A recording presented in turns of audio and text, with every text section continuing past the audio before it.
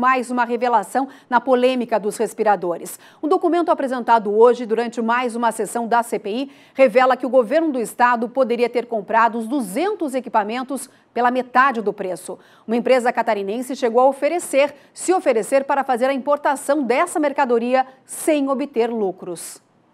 O documento foi apresentado pelo relator da CPI, Ivan Nats. Esse documento coloca a CPI numa outra, num outro caminho, porque esse documento não consta, pelo que sei, nem da, da investigação da GAEC, pelo que sei, e nem do Tribunal de Contas. E eu julgo ele extremamente grave. É uma proposta bem mais barata que a da Veiga Med, que recebeu os 33 milhões adiantados e que foi apresentada ao governo praticamente ao mesmo tempo que a da concorrente do Rio de Janeiro. O requerimento de importação de 100 respiradores pela Intelbras é do dia 28 de março. Ele foi assinado pela Superintendente de Gestão Administrativa e pelo adjunto, hoje secretário da Saúde, André Mota Ribeiro. A Intelbras abriu mão do lucro. Com isso, o custo de cada equipamento ficou em 67 mil reais, menos da metade do valor pago para a Vegamed, que ofertou um modelo inferior. 100 respiradores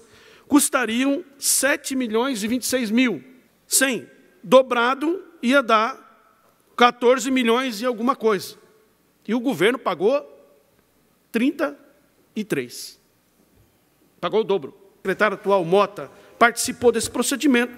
Eu reputo extremamente urgente a ouvida dessa, dessa pessoa. No dia 1 de abril, o então secretário Elton Zeferino e o governador Carlos Moisés assinaram esse documento autorizando a Intelbras a negociar a importação dos equipamentos para o Estado.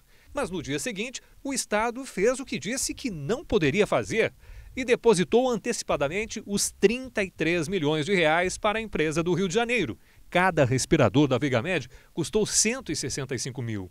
98 mil a mais que a proposta feita pela catarinense Intelbras. Dois pesos e duas medidas para um negócio que a Intelbras, isso dito pelo seu presidente, porque eu conversei, ele disse, não, nós poderíamos trazer os 200, só que eu não tinha é, condição de pagar tudo antecipado, né?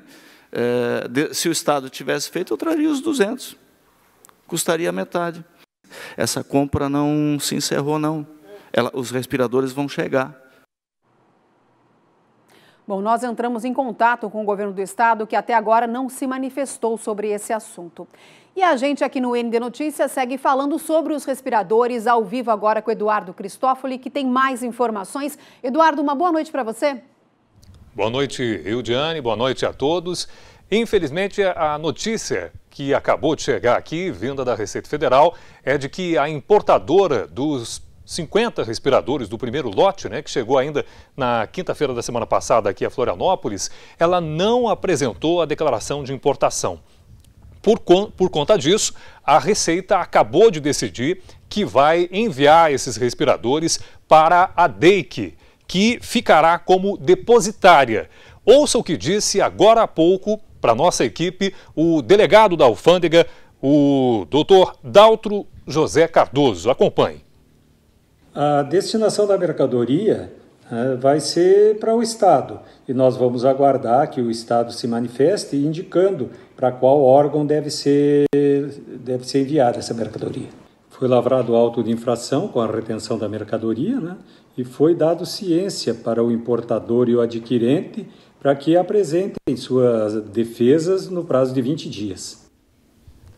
A explicação da Receita né, é que normalmente os importadores têm aí 90 dias para apresentar toda a documentação. Como se trata de um equipamento extremamente importante, é, que foi tema aí né, de uma dispensa de licitação, que foi comprado de maneira emergencial pelo Estado, e diante desses sete dias sem apresentar nenhuma documentação, então a Receita decidiu enviar para a DEIC já autorizando o Estado a fazer o uso desses equipamentos.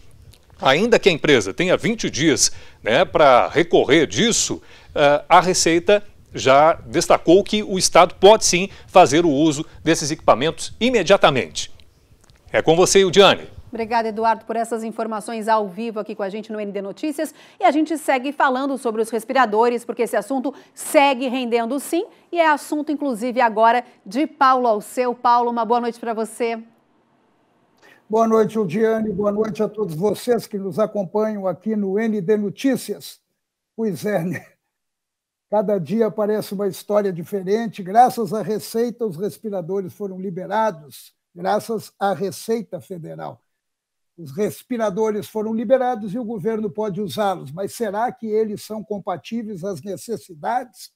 Em relação a esse documento que surgiu, esse documento tem dois pontos básicos. O primeiro, o primeiro é que o governador Carlos Moisés participou sim do processo, ele estava a par do processo de compra dos respiradores. Está lá a assinatura dele e do então secretário Elton Zeferino, e também a participação do atual secretário, que era adjunto na época.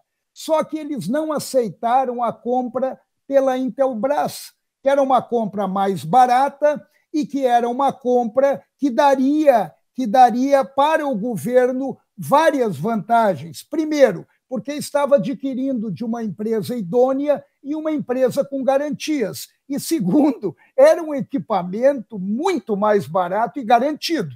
Ele ia chegar. O segundo ponto, o segundo ponto que a gente não pode fugir é que se comprasse pela Intelbras, esses equipamentos já estariam há muito tempo aqui no Brasil e já instalados e sendo utilizados, e não nesse embrólio todo que nós estamos vivendo, estamos acompanhando, que a Receita Federal pega, não tem, não, não, não consegue liberar, a empresa não manda, não manda documentação, tem um prazo, agora não teve prazo para pagar à vista. Né? Isso não pagaram direto os 33 milhões. E toda essa situação que a gente está vivenciando.